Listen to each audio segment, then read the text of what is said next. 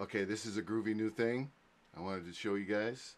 Uh, in Pro Tools, up here, uh, there's a, a, virtual console, and uh, I just getting tired of coming over here to mute and unmute my inputs from the uh, Apollo Universal Audio Apollo unit. That's what this uh, console is.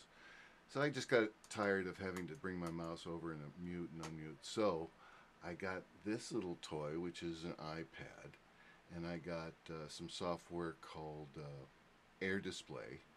And now, if you if you look up here, I just drag this over to what would be my third display, and it now becomes it's something on the iPad I can use.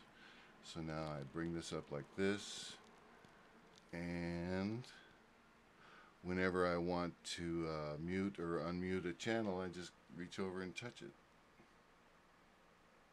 If I touch this one that's an open microphone as you can see there. It's to get we're going to get feedback. Ooh feedback.